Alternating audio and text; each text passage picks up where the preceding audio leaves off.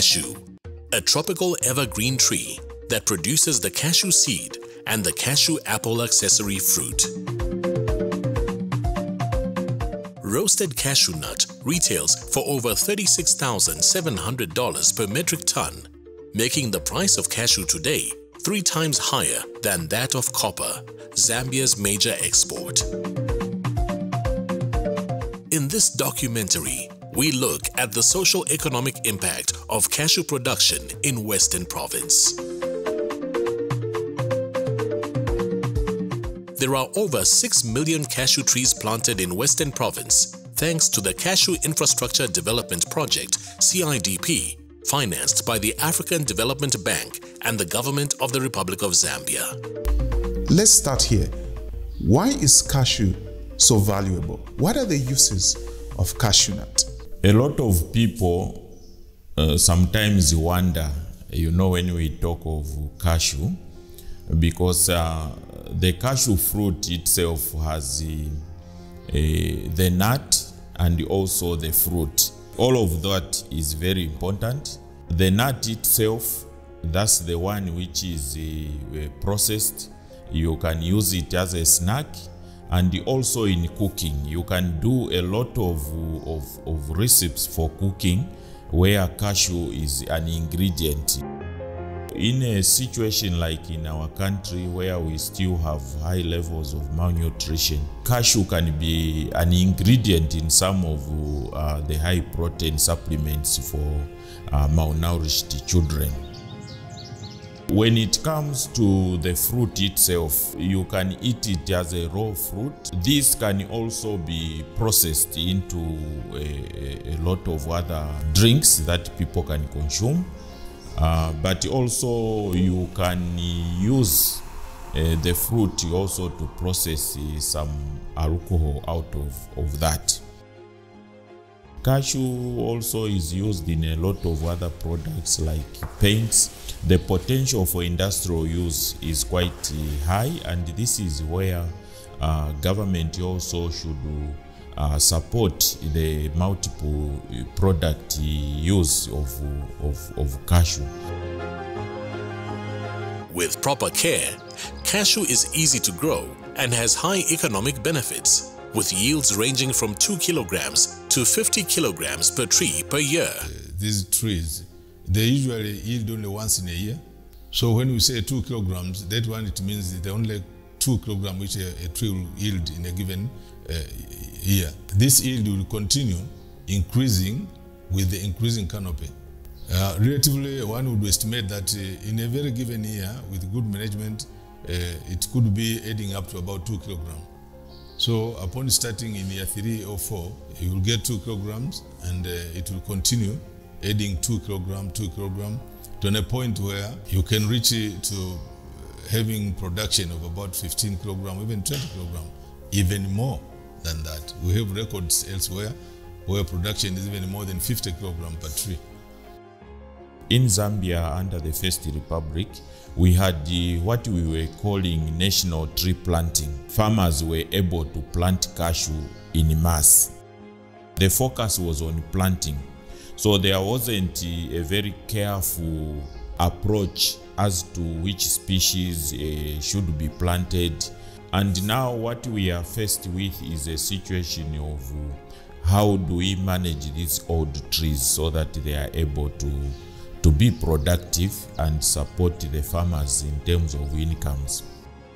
This lack of care of the trees that were planted earlier on is what led to these trees not being productive. A lot of diseases and pests also increased. Now we are faced with a situation to correct by managing these old trees uh, through spraying, pruning, all these cultural practices. Western Province has suitable climatic conditions for growing cashew. However, special care has to be taken as most of the Western Province has extreme sandy conditions. Most of the farmers, if they delay planting their, their cashew, then they are missing out on the maximum uh, rainfall. then the trees may not have enough water in the first season to establish. Previously, when we started planting cashew, it was almost a taboo to hear that you are putting manure on a cashew tree. But now we are emphasizing that because one, we are trying to provide the nutrition that may not be available in the purely sandy soils and also we are trying to improve the water holding capacity of the sandy soils so that the cashew is able to uh, to have uh, adequate water. During the cold season we have instances of uh, frost bite in most of the cashew trees. The ultimate uh, solution is to work with our farmers to see how the nutrition of the trees is improved and also uh, where possible uh, to be watering the plants uh, during off season CIDP is government's effort to revive the cashew industry in the Western Province. government basically came up with the, the cashew infrastructure development project because one potential the province has is uh, cashew Western Province particularly was chosen in order to create room for more economic activity in the province. Government identified the province as having very few economic activities with the high incidences for poverty. So this project was identified to come and uh, boost up economic activities. The province itself is lacking in terms of um, development. There are very few industries that are there. So cashew is one of the success stories that the province is expected to produce. cashew infrastructure development project is basically a government initiative to look at reviving cashew production in the province The CIDP is a five-year project operating on a loan from the African Development Bank and it's being implemented in 10 districts in the province. and these districts are Shangombo, Sioma, Senanga, Nalolo, Mongo, Dimulunga, Lukulu, Mitete, Kalabo, and Skongo. Uh, these districts were chosen because at the time of the project preparation, they were regarded as the potential areas where cashew would grow in the province, and they were also seen to be districts which had uh, less prone kind of condition towards frost. That's how they were selected. Uh, the project objective is basically to contribute to the economic development of first of the Western Province and that of the uh, country as well. This project initially uh, targeted to also rejuvenate about 200,000 odd trees and also to plant over 600,000 trees in Mongu district. you realize that uh, there are several components in there and uh, what etg was focused on doing was on cashew plantation rejuvenation and the establishment Uh, the project is funded with uh, financial assistance from the Africa Development Bank through a loan that was obtained by our government in 2016 in the total amount of 45 million US.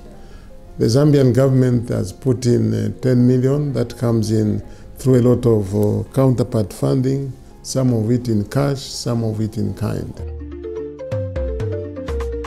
Most of the land in the Western Province is customary and held in trust by the Litunga. It is important for farmers, especially women and youths, to have access to land for the project to succeed. Subsequently, about 60,000 hectares have been reserved for cashew farming.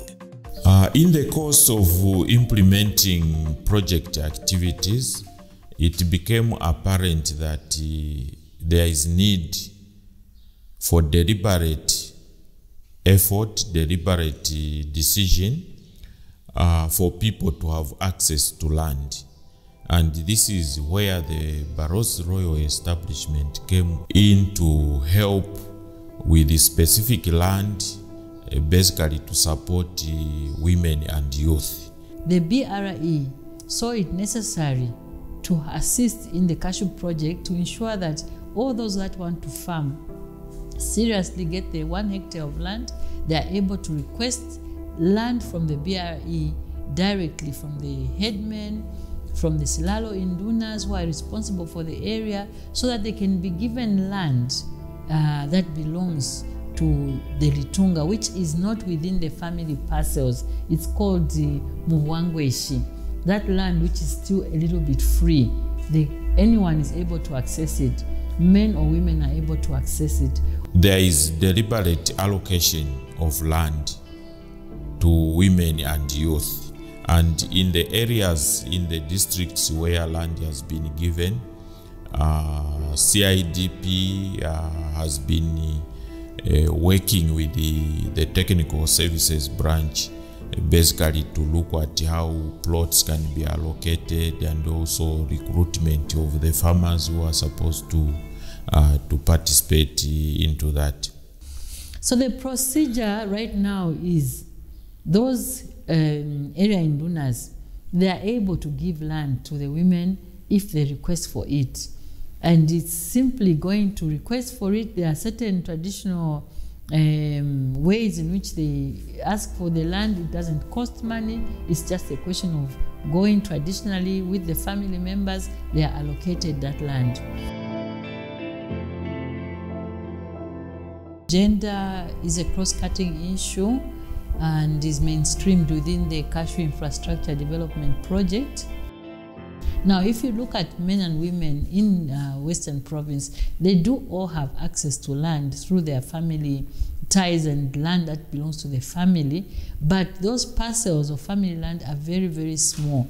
So you find that they are what we call katongo kashangwe. They are small. They are all being shared by everyone. For someone to have one hectare of land in that kind of land is very, very difficult. The achievement for Senanga uh, is that uh, we have uh, 6,254 beneficiaries, of which um, 3,977 are males and 2,277 are females. The Litunga Liambwela, that is uh, Her Royal Highness Mbuyu Imwiko, you know, she was able to look at this issue and said, how many women can keep going to ask for land? Therefore, in my chiefdom, she released 2,800 hectares of land to be put under cashew. As I am talking today, I'm a woman beneficiaries who received the machineries for processing through CIDP CEEC matching grant. Several trainings were conducted uh, by ETG and they ensured that women were part and parcel of those trainings and that some women were actually incorporated in being lead farmers. We have so far produced uh, 6.4 million cashew seedlings and our project target in the project document was 6 million. About 6 million seedlings are basically polyclonal. These seedlings, they don't need to be grafted they just grow because they've been scientifically been selected and bred by scientists. And these have been um, supervised and managed by our implementing partners, the Export Trading Group, ETG in short, and we have benefited greatly from their experience. To satisfy the growing demand for cashew seedlings, CIDP has adopted the concept of community nurseries operated by the members of the community themselves. Um, ETG um, Zambia Agricultural Research Institute and the Ministry of Agriculture were able to have these community nurseries I know, spread all over Western Province in these 10 cashew hub districts and started distributing the seedlings. We trained what we are calling nursery operators. These are members of the community selected, trained uh, in terms of nursery establishment uh, management, and also seed was provided they raised the seedlings then communities in the particular localities come and collect the, the seedlings for planting so as Mongu district we have uh, also two nursery farming institutes. We have one in, uh, in Simulumbe, where the research institute is. We also have uh, the FTC in Namushakende, where grafting of these trees is being done. We have uh, distributed seedlings to the farmers yeah, for the past two years 2019 20 and 2021. I can assure you that uh, more than 6 million um, seedlings have been planted on the ground. Uh, These are project-sponsored uh, seedling production and farmers receive them for free, but they are supposed to provide their input in terms of managing those seedlings so that they don't just die. As the Zambia Agricultural Research Institute, we are collecting what we call um, uh, scions from these mother trees, um, producing um, good quality uh, seedlings uh, from the mother trees. These good quality seedlings are, are being distributed to the farmers. In the next few years, we shall be able to see um, high quality and good quality cashew trees in this province. Knowledge transfer is key for the overall success and sustainability of the CIDP. We are looking at uh, ensuring that the government extension officers are, are well trained in terms of cashew agronomy. The farmers that are planting the cashew are equally trained in terms of cashew agronomy. This is what is going to uh, basically provide a basis for sustainability in terms of knowledge transfer at the community level. We've been training farmers to manage these seedlings in a better way so that they can speed up the, uh, the growth of the trees to come to yield yeah, in shorter post, I mean short possible time. We were trained by ETG on cashew farming, field management, how to plant the cashew, how to weed, and up to the harvesting time. These nursery operators were shown how to go about to demarcate uh, points where uh, seedlings should be planted and how planting holes should be prepared, dug and a mixture of the manure and soil so that to establish a, a base which could collect rainwater and uh, nutrify the seedling as it grows. So those were kind of the trainings which was done uh, during the nursery operator training.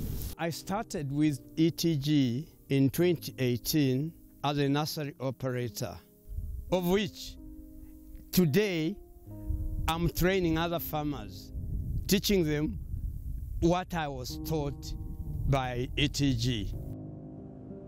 Training of trainers came in after having established the cashew farmer groups. These groups were meant to be composed of cashew farmers who are very keen, committed to cashew production, so that they form a group to facilitate how to link up with them when it comes to knowledge transfer and uh, all other aspects which are needed during cashew production. In total, we had about 1,249 group leaders who were involved in training. We have trained uh, a group of farmers who were selected by uh, community.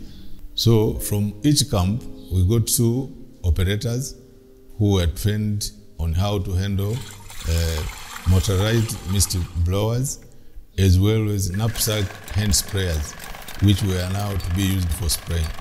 We, we trained them how to achieve effective spraying. We had to show them how to dilute, mix uh, the given pesticide with water based on the recommended uh, dose rate which you have to use to spray for the control of diseases and the insect pest. These uh, spray operators were equipped very well with the protective gears from gumboots, suits, helmets, goggles, and uh, gloves, even respirators.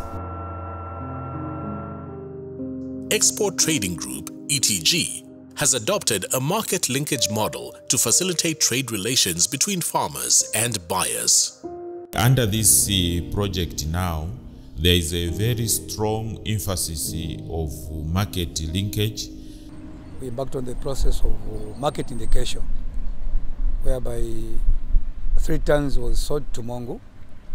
but 500 farmers benefited from the sale of the cashew nuts which they sold. Out of that, it has really influenced our farmers. They've seen the benefit of growing cashew. We still have this aspect, of course, of going further to capture all the targeted farmers or even beyond.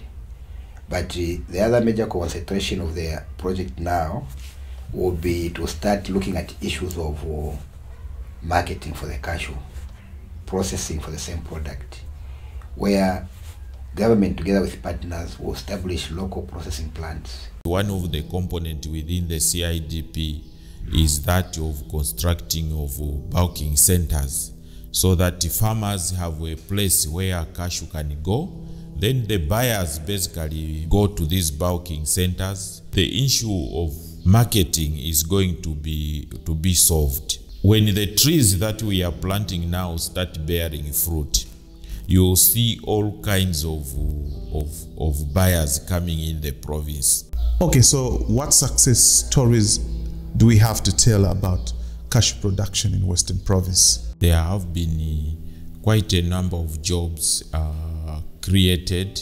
We have had uh, uh, nursery operators, we have had sprayer operators. On top of that, uh, we have had a lot of uh, transporters that were engaged in terms of transporting nursery materials to the various districts. As well, we have had a number of suppliers that were basically supplying these uh, nursery materials. Uh, but if you look at the overall CIDP project, there were also a number of jobs created in the various components of the project. We have uh, seen quite a number of farmers in the various districts, starting with the, the growing of cashew, doing intercropping. I have got uh, 241 trees of cashew nut, which is coming from ETG. ETG is helping us a lot, giving us knowledge, praying cashew nut for us, and doing everything possible for us, teaching us how to grow cashew nut. I'm very happy that uh, ETG taught us a lot of things about cashew. In fact, we are still uh, wanting ETG to come forward and help us in so many ways. The ETG, I'm giving them a credit because they are supporting me in this program. They have uh, made me to attend so many workshops. Our plants are doing fine, following the encouragement, the training that we have had with the ETGs. They have been with us. They have provided us with the, uh, the chemicals. Uh, our land mostly is affected by termites, but the ETGs have come on board to provide us with the, the chemicals. Despite that, I haven't yet harvested, but the management, from the lessons which I learned, definitely uh, I'm seeing some progress in my uh, uh, farming cashew. We have uh, benefited a lot from the presence of uh, ETG here in uh, Western Province. They have been making some visitation to our farm and they have been providing advice concerning the general management of our cashew nut plants and also uh, once in a while they have been providing us with uh, chemicals. This is a very good thing to us, especially we widows. I have got five children which I am keeping currently now. So this will go a long way. We have uh, uh, one farmer in Mongu who started some time back with the cashew trees. Now she is into processing and packaging. I'm a farmer, started farming in 2013. I have uh, almost 10,000 trees where I'm collecting nuts. I was selling some nuts from other processors those days, but I was encouraged when I saw that the price of the commodity was uh, so good. Brenda Mwanamwalie was among cashew farmers who visited Tanzania on a farmer exposure trip. I was picked, so we went to Tanzania for the farmer exposure trip. So we went there where we even saw how cashew in Tanzania is performing. And in Africa, it looks like it's the country which has a, a lot more quality cashew nuts.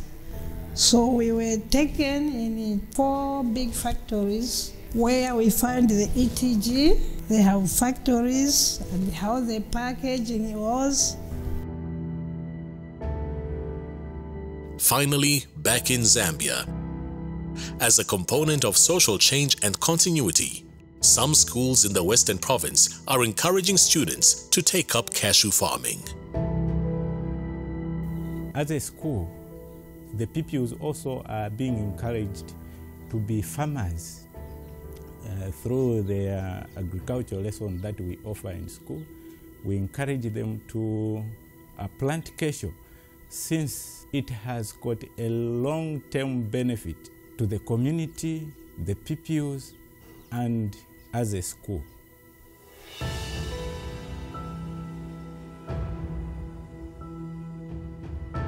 Litumezi Ahulu,